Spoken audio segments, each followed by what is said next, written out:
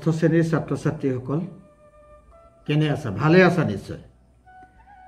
আৰু ভালে আছে মানে স্কুল যাবলৈ পোৱা নাই মনটো ক'ত ভাল কাৰো ভাল নহয়। তেনেকৈ তোমালোকক লগ পাবলৈ পোৱা নাই আমি আমাৰো মনটো ভাল নহয়। কোনেও কাকো দেখা নাই বহুদিন আশা কৰোঁ তোমালোক সকলো কুশলে আছা। যিয়ে নহওক ইয়াৰ মাজে মাজে আমি তোমালোকৰ লগত বিভিন্ন ধৰণৰ আলোচনা কৰি গৈ আছোঁ। আৰু আজি মই পুনৰ তোমালোকৰ ওচৰলৈ এটা পাঠ লৈ আহিছোঁ। আৰু পাঠটো নিশ্চয় মই ভিডিঅ'টো আৰম্ভ কৰোঁতে গম পাইছা। যে আমি ষষ্ঠ শ্ৰেণীৰ সাত নং পাঠটো পাঠ্যপুথিৰ সাত নং পাঠটো আমি লৈ আহিছোঁ। আৰু সাত নং পাঠটোত আছে ৰসৰাজ লক্ষ্মীনাথ বেজবৰুৱা। ভিডিঅ'টো আৰম্ভ কৰোঁতে মই এটা সংগীত বজাইছোঁ লগত। এটা সুৰ বজাই আছোঁ। খুব সুন্দৰ বাদ্যযন্ত্ৰত এটা সুৰ বাজি আছে। এই বাদ্যযন্ত্ৰত বাজি থকা সুৰটোত আমি সকলোৰে পৰিচয় আছে। আমি সকলো পৰিচিত। সেইটো হৈছে আমাৰ জাতীয় সংগীত ঔ মোৰ আপোনাৰ দেশ। আৰু এই ঔ মোৰ আপোনাৰ দেশ যেতিয়া আমাৰ জাতীয় সংগীত ৰচনা কৰিছিল আমাৰ সকলোৰে শ্ৰদ্ধাৰ লক্ষ্মীনাথ বেজবৰুৱাদেৱ। লক্ষ্মীনাথ বেজবৰুৱাদেৱক সাহিত্যৰথী বুলি জানো। লক্ষ্মীনাথ বেজবৰুৱাদেৱক ৰসৰাজ বুলিও জনা যায়। ৰসৰাজ লক্ষ্মীনাথ বেজবৰুৱা সাহিত্যৰথী লক্ষ্মীনাথ বেজবৰুৱা। এই দুয়োটা ইমান ডাঙৰ ডাঙৰ উপাধি কিয় পালে তেখেতে? আমাৰ পাঠটোত সেই বিষয়বিলাক আলোচনা হৈছে। আমি সকলোৱে সাধু শুনি ভাল পাওঁ। আৰু সাধু কথাৰ জনক বুলি ক'লেও ভুল কোৱা নহ'ব লক্ষ্মীনাথ বেজবৰুৱাক। বুঢ়ীয়াই সাধু। আমিও সৰুতে পঢ়িছিলোঁ তোমালোকেও পঢ়িছা। আমাৰ দেউতা মাহঁতেও পঢ়িছে। বুঢ়ীয়াই সাধু। ককা দেউতা আৰু নাতি ল'ৰা লিটিকাই বিভিন্ন ধৰণৰ। আৰু তেওঁৰ যিমানবিলাক লিখনি আছে তেওঁ ল'ৰাৰ পৰা বুঢ়ালৈকে সকলোৰে মনৰ সোৱাদ দিব পৰাকৈ সকলোকে মনৰ সোৱাদ দিব পৰাকৈ লিখনিসমূহ লিখিছিলে। এই কথাবিলাক আমি আলোচনা কৰিম। আলোচনা কৰাৰ আগতে আমি পাঠটো প্ৰথমতে পঢ়ি লওঁ। কি আছে পাঠটোৰ ভিতৰত? আৰু বহুত দিন তোমালোকে ওলাই যোৱা নাই নহয়। বোলা গাড়ী এখনত বহি লওঁ গোটেইকেইটা। আৰু গাড়ীত উঠি উঠি আমি প্ৰাকৃতিক দৃশ্যও চাই গৈ থাকিম। আৰু পাঠটো মই পঢ়ি যাম তোমালোকে শুনি যাবা। বোলা আমি এতিয়া পাঠটো আৰম্ভ কৰোঁ।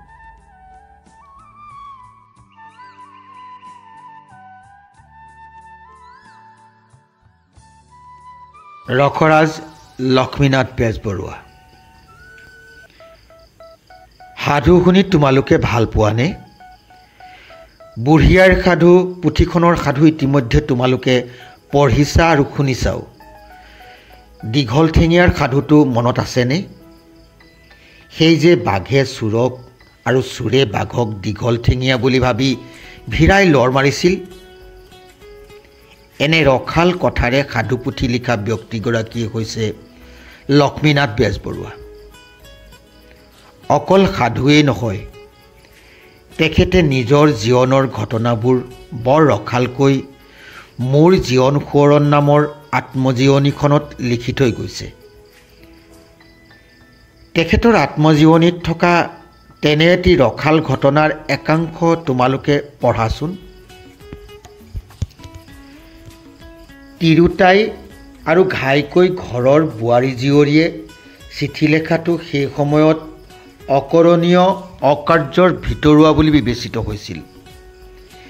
সেই দেখি বৰবৌৱে অতি সংগোপনে তেওঁৰ চিঠি লিখি তাক মূৰ খটুৱাই শুধৰাই চলিব পৰা কৰি মূৰ খটুৱায়েই অতি গুপুতভাৱে ডাকত দিয়াইছিল। বুদ্ধিৰ ঢেঁকীথোৰা মই কিন্তু তেওঁৰ প্ৰথমখন চিঠি ডাকত দিওঁতেই লগালোঁ জেঙা। চিঠিখন চেলেঙৰ তলত ভৰাই লৈ মই ডাকঘৰ পালোঁগৈ। কিন্তু ক'ত চিঠিখন পেলাব লাগে নাজানি ডাকঘৰৰ সন্মুখতে পৰি থকা ভগা পেৰা এটাৰ ভিতৰত দিলোঁ সোমাই। ওচৰতে এটা মানুহ আছিল। সি ক'লে সেইখন চিঠি ডাকত দিবলৈ আনি তাত সোমাই দিলা কিয়? ডাকত এইপিনে ইয়াতহে দিব লাগে। মোৰ ভুল বুজিব পাৰি মুখ শুকাই গ'ল।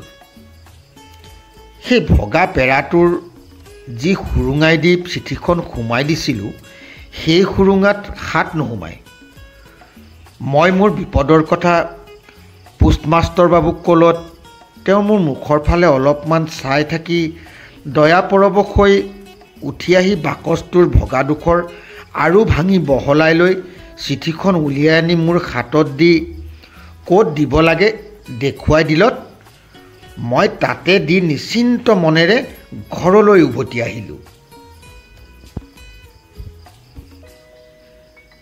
বেজবৰুৱাৰ লেখাৰ প্ৰায়বোৰ কথাই এনেদৰে ৰসেৰে উপচি থকা বাবে তেখেতক ৰসৰাজ উপাধি দিয়া হৈছিল। লক্ষ্মীনাথ বেজবৰুৱা আছিল বহুমুখী প্ৰতিভাসম্পন্ন ব্যক্তি। তেখেতে সাধুকথা হাস্য ব্যংগাত্মক ৰচনাৰ লগতে কবিতা গল্প নাটক জীৱনী উপন্যাস তত্ত্বগধুৰ প্ৰবন্ধ আদিও ৰচনা কৰিছিল। অসমীয়া সাহিত্যৰ প্ৰায় সকলো দিশলৈ আগবঢ়োৱা বৰঙণিৰ বাবে তেখেতক সাহিত্যৰথী উপাধিৰে সন্মানিত কৰা হৈছিল। অসমীয়া ভাষা সাহিত্যৰ উন্নতিৰ বাবে বেজবৰুৱাই যৎপৰোনাস্তি চেষ্টা কৰিছিল। কলিকতাত পঢ়ি থকা সময়তে তেখেতে অসমীয়া ভাষা সাহিত্যৰ উন্নতিৰ বাবে অসমীয়া সাহিত্য চোৰা স্থাপন কৰিছিল। এই সাহিত্য চোৰাই পৰৱৰ্তী কালত অসমীয়া ভাষাৰ উন্নতি সাধিনী সভাৰূপে পৰিগণিত হয়। বেজবৰুৱাৰ এই কাৰ্যত সেই সময়ত কলিকতাত পঢ়ি থকা কেইবাজনো অসমীয়া ছাত্ৰই সহায় কৰিছিল। বেজবৰুৱা আছিল এগৰাকী গীতিকাৰো। তেখেতৰ অ মোৰ আপোনাৰ দেশ গীতটি তোমালোকে বিভিন্ন অনুষ্ঠানত পৰিৱেশন কৰা শুনিছা। এনেধৰণৰ জাতীয় চেতনা জাগ্ৰত কৰা আন কবিতাও বেজবৰুৱাই লিখিছিল। তেনে এটি কবিতা হ'ল অসম সংগীত। কবিতাটিৰ এটা অংশ গাওঁ আহাচোন। আমি অসমীয়া নহওঁ দুখীয়া কিহৰ দুখীয়া হম? সকলো আছিল সকলো আছে নগুণ নলওঁ গম। শংকৰে দিলে বিশুদ্ধ ধৰম লাচিতে বাহুত বল। সতী জয়মতী সতীত্ব তেজেৰে অসমীয়াই প্ৰবল বাজক দবা বাজক শংখ বাজক মৃদং খোল। অসম আকৌ উন্নতি পথত জয় আই অসম বোল।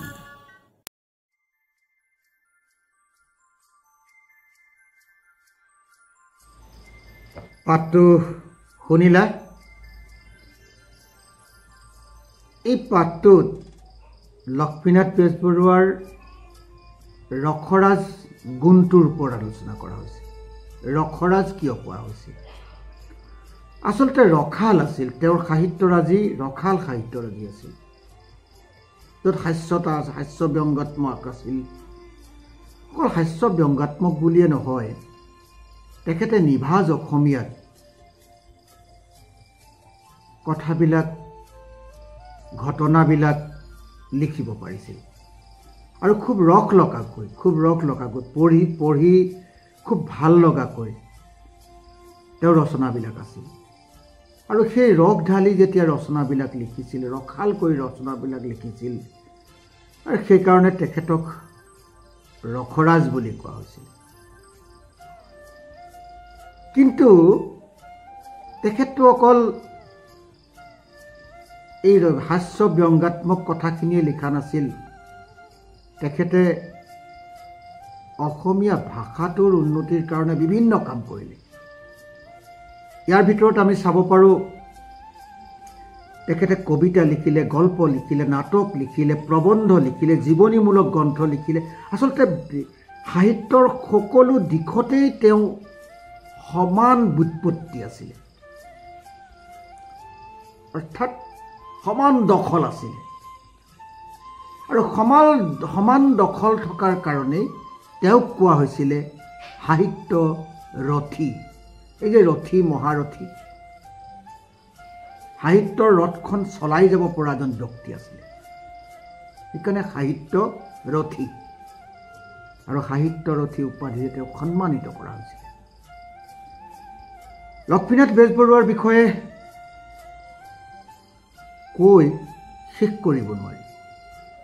কিন্তু তোমালোকে ডাঙৰ হ'লে তোমালোকে যেতিয়া ওপৰ শ্ৰেণীলৈ গৈ থাকিবা তেতিয়া লক্ষ্মীনাথ বেজবৰুৱাৰ বিষয়ে বা লক্ষ্মীনাথ বেজবৰুৱাৰ লিখনিসমূহ তোমালোকে খুব ভালকৈ পাই যাবা।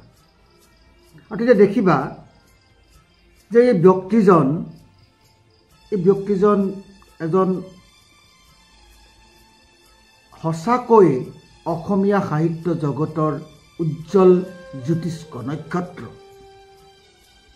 আকাশত যেনেকৈ তৰাবিলাক তিৰ বিৰাই থাকে আমাৰ অসমীয়া সাহিত্য জগতখনতো তেখেত তিৰ বিৰাই থকা তৰা। এতিয়া এই পাঠটোত আমাক দিছে তেওঁৰ ৰখাল কথাৰ এটা অংশ তেওঁৰ লিখনিৰ তেওঁৰ যিখন মোৰ জীৱন সোঁৱৰণ নামৰ যিখন তেওঁৰ আত্মজীৱনী আছিল সেইখনো খুব ৰখালকৈ লিখিছে তেওঁ। আৰু তাতেই তেওঁ এই কথাখিনি ইয়াত আমাৰ পাঠটোত যিখিনি কথা আছে যিটো এটা এটা খণ্ড এটা অংশ এটা তুলি দিয়া হৈছে। সেই সময়ত যি সময়ত তেওঁলোক আছিলে সেই সময়ত মহিলাসকল অলপ ৰক্ষণশীল সমাজত অৰ্থাৎ সমাজত অলপ ৰক্ষণশীলভাৱে আছিলে। চিঠি পত্ৰ লিখিব নিদিছিলে তেতিয়া তেওঁলোকে। তেতিয়া কি হৈছিলে মনে মনে চিঠি লিখিছিলে। সেই কথাটোকে সেই কথাটোকে ইমান ৰস লগাকৈ আৰু তেতিয়া ইমান ৰস লগাকৈ তেওঁ উপস্থাপন কৰিছে। ইমান ধুনীয়াকৈ তেওঁ লৈ আহিছে এটা সাধু কথা কোৱাৰ দৰে। ইমান ধুনীয়াকৈ তেওঁনো কি হ'ল? তেওঁনো কিমান টেঙৰ আছিলে সেই সময়ত? আৰু তেওঁ যে মুকলিমূৰীয়াকৈ নিজৰ গোটেই অজ্ঞতাখিনি প্ৰকাশ কৰি দিছে ইমান ৰসালকৈ এইটোৱে তেওঁৰ লিখনিৰ গুণ আছিলে। যিয়ে নহওক আমি অকণমান তেখেতৰ ভিতৰৰ তেখেতৰ জীৱনৰ বিষয়ে জানি লোৱা তেখেতৰ জন্ম হৈছিলে ওঠৰশ চৌষষ্ঠি। ওঠৰশ চৌষষ্ঠি চনত দেউতাক আছিলে দীননাথ বেজবৰুৱা। আৰু লক্ষী পূৰ্ণিমাৰ দিনাখন তেওঁৰ জন্ম হৈছিল। লক্ষী পূৰ্ণিমাৰ দিনা জন্ম হোৱাৰ কাৰণে তেওঁৰ নাম ৰখা হ'ল লক্ষ্মীনাথ। মাতৃৰ নাম আছিলে থানেশ্বৰী দেৱী। আৰু তেখেতে তেখেতৰ স্কুলীয়া জীৱন শিৱসাগৰ তেওঁৰ স্কুলীয়া জীৱন আৰম্ভ কৰি শেষ কৰিছিলে তাৰপিছত তেওঁ কলিকতাত পঢ়িবলৈ গৈছিলে। কলিকতাৰ চিটি কলেজৰ পৰা তেওঁ বি এ পাছ কৰিছিলে। আৰু চৰকাৰী চাকৰি প্ৰত্যাখ্যান কৰি তেওঁ কি কৰিছিলে ব্যৱসায়ত নামিছিলে। তেওঁ কাঠৰ ব্যৱসায় কৰিছিলে। তেওঁ বিবাহ পাশত আবদ্ধ হৈছিলে সাহিত্যৰ নবেল বঁটা বিজয়ী কবিগুৰু ৰবীন্দ্ৰনাথ ঠাকুৰৰ কন্যা প্ৰজ্ঞা সুন্দৰীৰ লগত। প্ৰজ্ঞা সুন্দৰীক তেওঁ বিয়া কৰিছিলে। অসম সাহিত্য সভাৰ সপ্তম অধিৱেশনৰ তেখেতে সভাপতিৰ আসন অলংকৃত কৰিছিলে। বেজবৰুৱাৰ এটা যুগ বেজবৰুৱাৰ যুগ সৃষ্টি কৰি দিছিলে। তেওঁ সাহিত্যত অসমীয়া সাহিত্যত বেজবৰুৱা যুগৰ সৃষ্টি হৈছিলে তেওঁৰ ৰচনাৱলী। তেওঁ বিভিন্ন পুথি লিখিছে সৰুৰ পৰা ডাঙৰলৈকে। ল'ৰাৰ পৰা বুঢ়ালৈকে সকলোৰে বাবে তেওঁ লিখিছিলে। বুঢ়ী আই সাধু ককা দেউতা আৰু নাতি ল'ৰা আমি পাইছোঁ। তেওঁ জয়মতী কুঁৱৰী লিখিছিলে যিখনক লৈ জ্যোতিপ্ৰসাদ আগৰৱালাই বোলছবি কৰিছিলে। একেদৰে জুনুকা লিটিকাই বেলিমাৰ চক্ৰধৰ সিংহ শংকৰদেৱ বিভিন্ন বিভিন্ন তেওঁৰ পুথি গ্ৰন্থ তেওঁলোকৰ আছে কিন্তু এইকেইখন তোমালোকৰ পাঠ্যপুথিত উল্লেখ আছে কেতিয়াবা হয়তো পৰীক্ষাত এনেধৰণৰ প্ৰশ্নবিলাক আহিব পাৰে। কি কি পুথি তেওঁ লিখিছিলে। এই তোমালোকক পাঠটোৱে যিমানখিনি কথা ক'বলৈ দিছে মই সেইখিনিৰ ভিতৰতে তোমালোকৰ কথাখিনি কৈ শেষ কৰিব লাগিব। এতিয়া আহোঁ পাঠটোৰ ভিতৰৰ কিছুমান প্ৰশ্ন আছে। প্ৰশ্নবিলাক তোমালোকে চোৱাচোন। কেইটামান প্ৰশ্ন আছে মই ইয়াত লিখিও দিম মই লগত লিখি যাম আৰু তোমালোকে চাই ল'বা প্ৰশ্নকেইটা। প্ৰথম প্ৰশ্নটো আছে লক্ষ্মীনাথ বেজবৰুৱাক কিয় ৰসৰাজ উপাধি দিয়া হৈছিল? আমি ক'লোঁ তেওঁৰ সাহিত্য ৰসাল সাহিত্য ৰচনা কৰাৰ বাবে তেওঁৰ ৰসাল সাহিত্য ৰচনা কৰিব পাৰিছিল। তেওঁৰ সাহিত্যত ৰস আছিল। ৰসাল ৰসাল কথা তেওঁৰ সাহিত্যৰ যোগে প্ৰকাশ কৰিছিল। আৰু সেইকাৰণে তেওঁৰ সাহিত্যৰ ৰসৰাজ উপাধি তেওঁক দিয়া হৈছিল। তেখেতৰ আত্মজীৱনীখনৰ নাম কি আছিল? মোৰ জীৱন সোঁৱৰণ। তেখেতৰ আত্মজীৱনীখনৰ নাম আছিল মোৰ জীৱন সোঁৱৰণ। লক্ষ্মীনাথ বেজবৰুৱাক ডাকত চিঠি দিবলৈ কোনে দিছিল? ডাকত লক্ষ্মীনাথ বেজবৰুৱাক ডাকত চিঠি দিবলৈ দিছিল তেওঁৰ বৰ বৌৱেকে তেওঁৰ বৰ বৌৱেকে চিঠিখন লক্ষ্মীনাথ বেজবৰুৱাই ক'ত সুমুৱাই দিছিল? চিঠিখন লক্ষ্মীনাথ বেজবৰুৱাই সুমুৱাই দিছিল ডাকঘৰৰ সন্মুখত পৰি থকা এটা ভগা পেৰাৰ ভিতৰত। ডাকঘৰৰ সন্মুখত পৰি থকা এটা ভগা পেৰাৰ ভিতৰত লক্ষ্মীনাথ বেজবৰুৱাই চিঠিখন সুমুৱাই দিছিল। শিশু লক্ষ্মীনাথ বেজবৰুৱাৰ প্ৰতি কোন দয়া পৰৱশ হৈছিল? শিশু লক্ষ্মীনাথ বেজবৰুৱাৰ প্ৰতি পোষ্টমাষ্টৰ দয়া পৰৱশ হৈছিল। শিশু লক্ষ্মীনাথ বেজবৰুৱাৰ প্ৰতি পোষ্টমাষ্টৰ দয়া পৰৱশ হৈছিল লক্ষ্মীনাথ বেজবৰুৱাই ৰচনা কৰা দুখন সাধুৰ নাম লিখিবলৈ আহিছে। সাধু পুথিৰ নাম লিখিবলৈ কৈছে। লক্ষ্মীনাথ বেজবৰুৱাই ৰচনা কৰা দুখন সাধু পুথিৰ নাম হৈছে বুঢ়ী আই সাধু আৰু ককা দেউতা আৰু নাতি ল'ৰা। এইকেইটা হৈছে চমু উত্তৰ। অসমীয়া ভাষাৰ উন্নতিৰ বাবে লক্ষ্মীনাথ বেজবৰুৱাই কি কৰিছিল? অসমীয়া ভাষাৰ উন্নতিৰ বাবে লক্ষ্মীনাথ বেজবৰুৱাই পঢ়ি থকা কালৰ পৰাই চেষ্টা কৰিছিল। যেতিয়া তেখেতে কলিকতাত পঢ়ি আছিল তেতিয়াই অসমীয়া সাহিত্য চৰা স্থাপন কৰিছিল। আৰু পিছলৈ এয়া অসমীয়া ভাষা উন্নতি সাধিনী সভা হিচাপে পৰিগণিত হৈছিল। আৰু কালক্ৰমত আহি আহি সেই সভাই গৈ গৈ এতিয়াৰ অসম সাহিত্য সভাৰ ৰূপ ল'লে। যিয়ে নহওক তেখেতে আমি যদি উত্তৰটো কৰিবলগীয়া হয় তেতিয়া লিখিব যে কলিকতাত পঢ়ি থকা সময়ৰ পৰাই অৰ্থাৎ ছাত্ৰ অৱস্থাৰ পৰাই লক্ষ্মীনাথ বেজবৰুৱাই অসমীয়া ভাষাৰ উন্নতিৰ কাৰণে কাম কৰিছিল। আৰু কলিকতাত পঢ়ি থকা সময়তে তেওঁ অসমীয়া সাহিত্য চৰা স্থাপন কৰিছিল আৰু পিছত এই অসমীয়া সাহিত্য চৰাই অসমীয়া ভাষা উন্নতি সাধিনী সভা হিচাপে পৰিগণিত হৈছিল। আৰু তাৰ জৰিয়তেই তেখেতে অসমীয়া ভাষা উন্নতিৰ কাৰণে চেষ্টা চলাইছিল আৰু সেই চেষ্টা অব্যাহত ৰাখিছিল। ইয়াৰ পিছৰ প্ৰশ্নটো আছে লক্ষ্মীনাথ বেজবৰুৱাক কিয় সাহিত্যৰথী উপাধি প্ৰদান কৰা হৈছিল? কিয় কৰা হৈছিল? মই আগতে পাঠটো আলোচনা কৰোঁতে কৈ গৈছিলোঁ যে লক্ষ্মীনাথ বেজবৰুৱা আছিলে সাহিত্যৰ বহুমুখী প্ৰতিভাসম্পন্ন ব্যক্তি। সাহিত্যৰ বহুমুখী প্ৰতিভাসম্পন্ন। তেখেতে সাধুকথা হাস্য ব্যংগাত্মক ৰচনাৰ লগতে গল্প নাটক জীৱনী উপন্যাস তত্ত্বগধুৰ প্ৰবন্ধ এই সকলো ৰচনা কৰিছিল।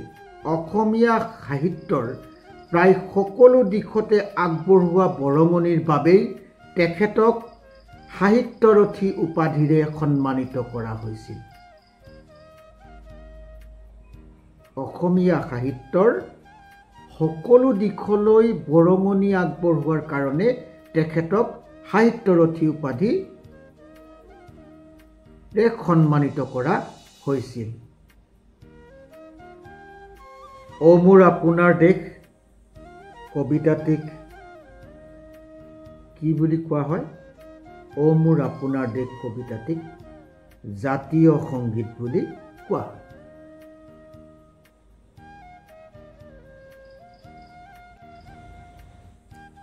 সেইখন চিঠি ডাকত দিবলৈ আনি তাত সোমাই দিলা কিয়?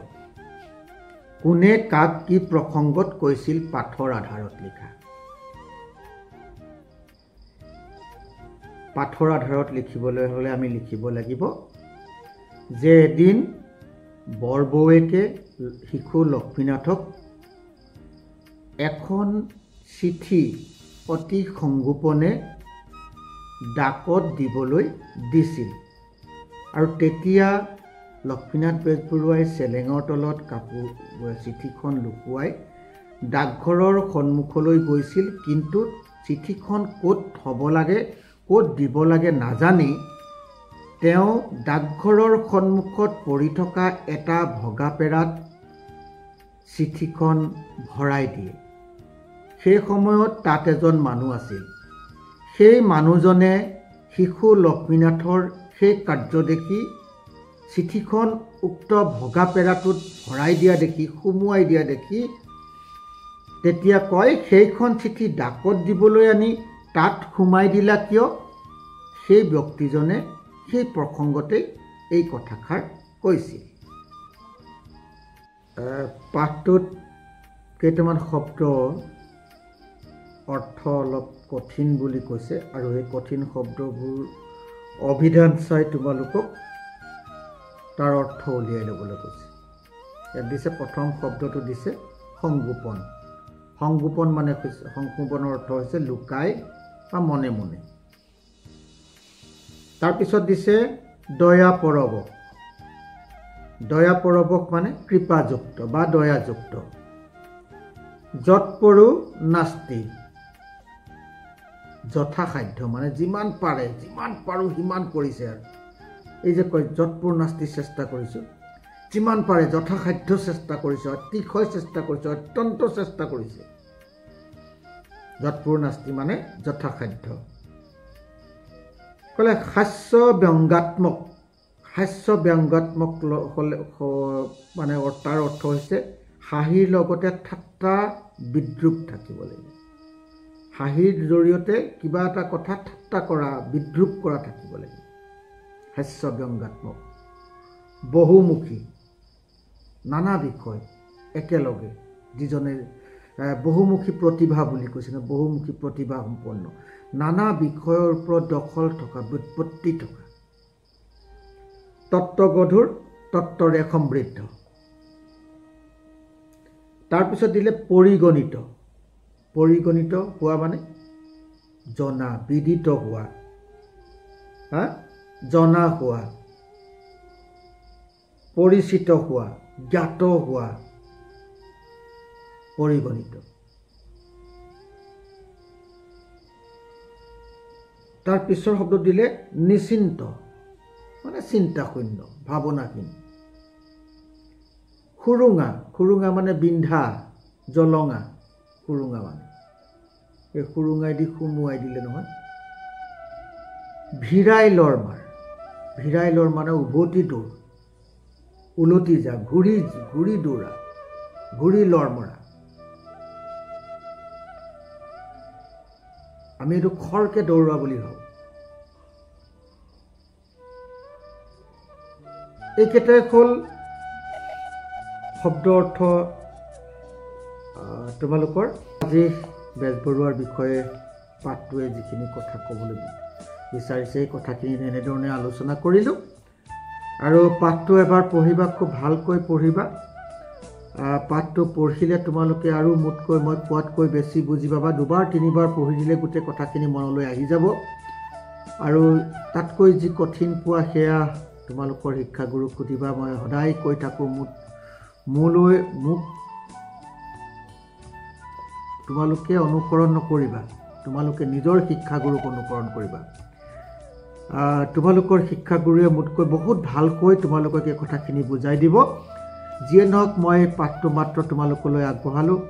আৰু তোমালোকে যদি এই পাঠটোৰ পৰা কিবা লাভ হয় তেতিয়াহ'লে মই তোমালোকৰ সন্মুখত পাঠটো দাঙি ধৰাৰ মোৰ উদ্দেশ্য সফল হ'ব। সন্মানীয় শিক্ষাগুৰুসকল মই পাঠটো পাঠদান কৰি যাওঁতে ভুল ক্ৰুটি ৰৈ যোৱাটো স্বাভাৱিক কাৰণ দেৱতাটো নহয় মানুহ। আৰু মানুহৰ ভুল ক্ৰুটি ৰৈ যোৱাটো স্বাভাৱিক। আচলতে ভুলবিলাক দলিয়াই পেলাই যিখিনি ইয়াৰ পৰা ল'ব পৰা বা ইয়াৰ পৰা গ্ৰহণ কৰিব পৰা আছে সেই কথাখিনি ছাত্ৰ ছাত্ৰীসকললৈ আগবঢ়াইছোঁ। আৰু আপোনালোকে মোক প্ৰতি মুহূৰ্ততে যি ধৰণে সহায় কৰি আহিছে সেই সহায়ৰ ওচৰত পুনৰবাৰ আপোনালোকক মই কৃতজ্ঞ কৃতজ্ঞতা জনাইছোঁ। সদায় আপোনালোক মোৰ শ্ৰদ্ধাৰ। আৰু আপোনালোকৰ আশীৰ্বাদ আৰু অনুপ্ৰেৰণা উৎসাহ এইকেইটা লৈ মই পুনৰ পাঠদানলৈ আগবাঢ়ি নিশ্চয় আহিম। মোৰ এটাই লক্ষ্য যে মোৰ ভাষা মোৰ সন্তানে মোৰ নতুন প্ৰজন্মই শুদ্ধকৈ ক'বলৈ পঢ়িবলৈ আৰু লিখিবলৈ শিকোঁ। আৰু সেইকাৰণে মই এই ভাষা বিষয়টো বিচাৰি লৈছোঁ। মোৰ অন্য কোনো ইয়াত কাৰণ নাই। মোৰ এটাই কথা ভাষাটো যেতিয়া জানিব ভাষাটো যেতিয়া শুদ্ধকৈ ক'ব পাৰিব তেতিয়া মোৰ ভাষাটো জীয়াই থাকিব। আৰু সেইকাৰণে মই ভাষাৰ পাঠটো উচ্চ প্ৰাথমিক শ্ৰেণীৰ ভাষাৰ পাঠটো গ্ৰহণ কৰিছোঁ আৰু আপোনালোকৰ সদায় সহায় কৰি আহিছোঁ। এইখিনিকে কৈ মই আজি পুনৰবাৰ আপোনালোকৰ পৰা বিদায় লৈছোঁ। পুনৰ ক'ম পি এন ভি চাওক লাইক কৰক ছাবস্ক্ৰাইব কৰক আৰু মোক এই শিশুসকলৰ কাৰণে কাম কৰি যাবলৈ সাহস দিয়ক। নমস্কাৰ।